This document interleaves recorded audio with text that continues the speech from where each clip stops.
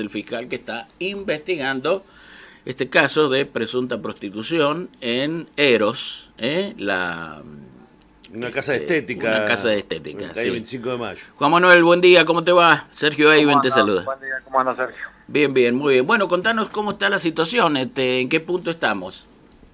Eh, bueno, estamos en el punto de que ya mañana a las siete y media de la mañana se hace la audiencia de formalización ante el juez y de control de detención de, la detenida.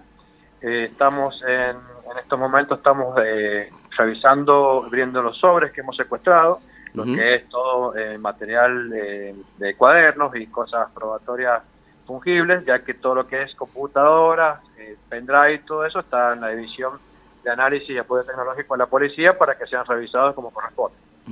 eh, doctor Juan Manuel Galvez, Roberto Pugrier se lo saluda. ¿Cómo le va? ¿Cómo le va? Eh, ¿Estaría en condiciones de, de, de, tener una acusación formal la imputada? Por las pruebas que tenemos hasta el momento, eh, sí, habrían elementos que a mí me hacen eh, suponer. Que, hay una, suponer, suponer que, que hay una una posible eh, un caso posible de prostitución, exactamente. Uh -huh. eh, es, es, perdón, ¿esto implicaría prisión preventiva? Y por el delito que se le enrostra, sí, tendríamos que pedir la prisión preventiva porque no sería de ejecución condicional y también eh, para evitar que se entorpezca la investigación, ya que hay mucha gente involucrada, llámese testigos e inclusive gente que podría haberle ayudado a ella a llevar adelante este negocio. Uh -huh. Así que sí, lo más probable es que se pida la prisión preventiva. Ajá. Eh, hay una situación que es este determinar si realmente se, se ejercía la prostitución, se la presionaba las chicas o a las mujeres que trabajaban ahí, eh, o no, es mm, testimonio, ¿Hay, ¿hay suficientes pruebas como para avanzar en esa dirección, Juan Manuel? Y por, lo, por la denuncia, pues hasta ahora tenemos una sola denuncia, por sí. la, esta denuncia que, que hemos recibido, eh, obligarlas, como en sí, obliga, obligarlas a tener, eh, a realizar el acto sexual, no eran obligadas, sino como que eran... Eh, inducidas. Inducidas por el hecho de vulnerabilidad que tenía la, la chica, por lo menos que hace la denuncia. Uh -huh. Entonces era, bueno, si no haces esto, eh, vas a ganar menos plata. Eh, acordate que haciendo esto te voy a pagar un poco más.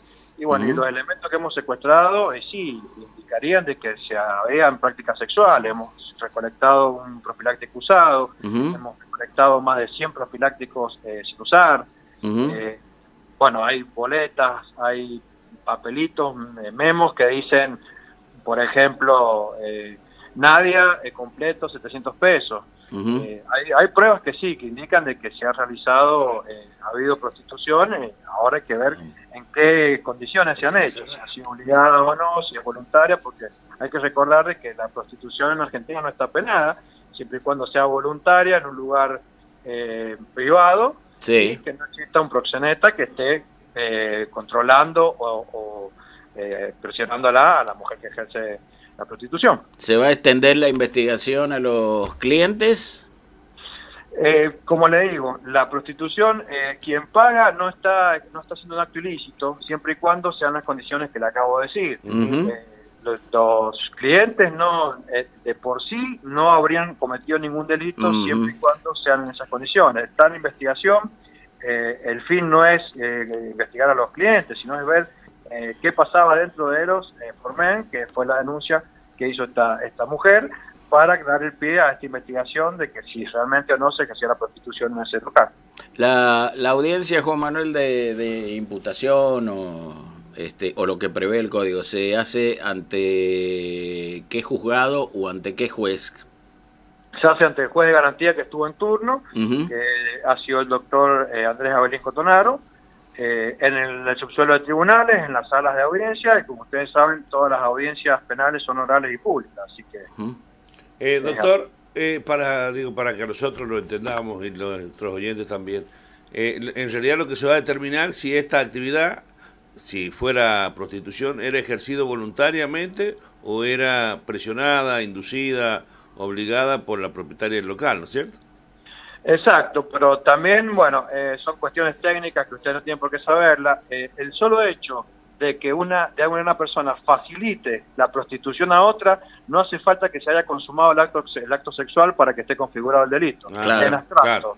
O sea, ya facilitándolo, se está cometiendo el delito. Está perfecto. Eh, ¿Las han citado al resto de las chicas que trabajaban ahí en, eh, en Eros? Hemos citado a todos los nombres que hemos podido recabar. Sí. Algunas trabajaban, trabajan, eh, otras han trabajado.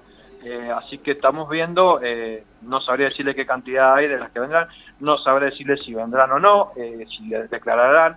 Sí. Eh, la verdad que no sabré decirle, pero sí hemos citado un par de nombres que nos ha dado la propia denunciante. Bueno, Juan Manuel, muchísimas gracias. ¿eh? Un abrazo y que se investigue prontamente este caso. ¿eh?